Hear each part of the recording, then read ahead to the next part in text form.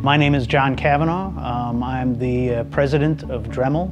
Well, we're, we're about to announce the introduction of the Dremel uh, 3D Idea Builder. And uh, it'll be our first venture into 3D printing. What we're doing is we're providing what we consider to be uh, a tremendously user-friendly 3D experience. Uh, the Dremel tool has always been very approachable. People can use it for all different things from your professional DIYer down to you know, your crafter and hobbyist.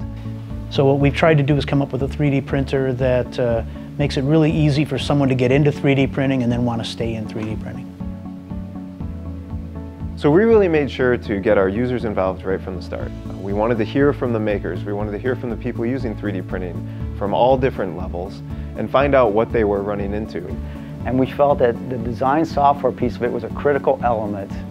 And uh, we met with Autodesk, and just natural fit between the companies. We each got each other's vision, and they were able to really support us with the uh, design software and the whole idea of making 3D printing uh, big together.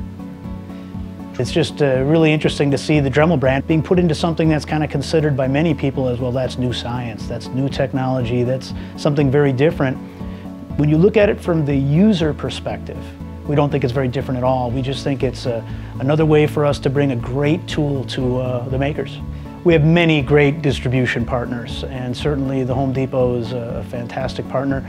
They have been interested in uh, 3D printing certainly from the beginning of any conversations we had with them and have been very enthusiastic and supportive so the beautiful thing about uh, Dremel Rotary Tool as well as a Dremel 3D printer is just the ability uh, to, it gets your mind going. You start thinking of, wow, I can do this, I can do that, and it leads to connections, and that's the whole purpose of creativity. It's putting different parts together into uh, a bigger idea. Uh, so, so the 3D printer, just because you, and you feel empowered too by what you can do.